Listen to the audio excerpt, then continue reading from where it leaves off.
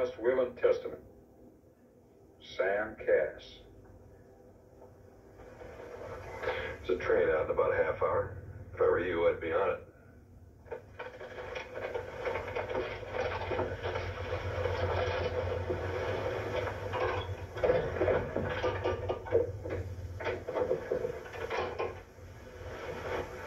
Well, where are you going? Let her go, Jerry. You'll do something to her, Marshal. He'll hurt her. No, he won't. Well, well, he's no good, Marshal. You read the will, didn't you? Yeah? All right. If you leave that ranch for six months, you lose your share in it. That's what he was trying to get you to do. Go back east with Bella. What are you saying? He didn't even want me to marry her. And he probably just said that to throw you off the track. Make himself look innocent. After he got your share.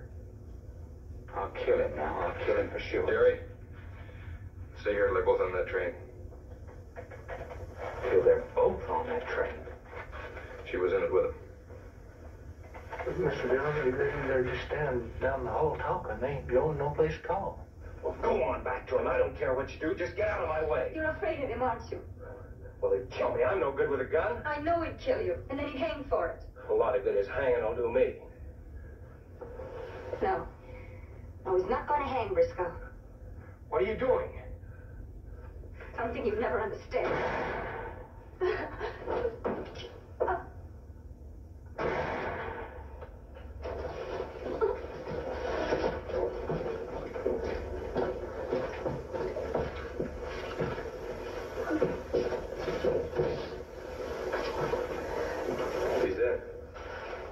No good.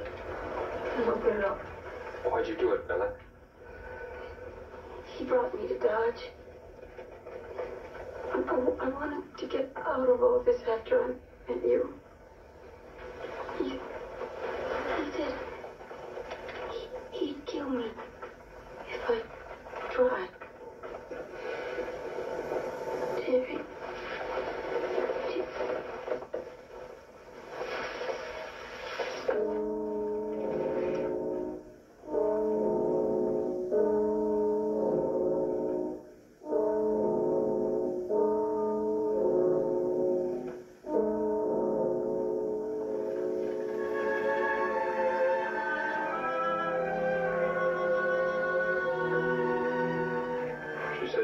get away. She didn't want to go along with him. She was in love with you, Jerry. Why do you say that? How do you know? She shot him, didn't she? To keep you from killing him and hanging for it. That cost her her life.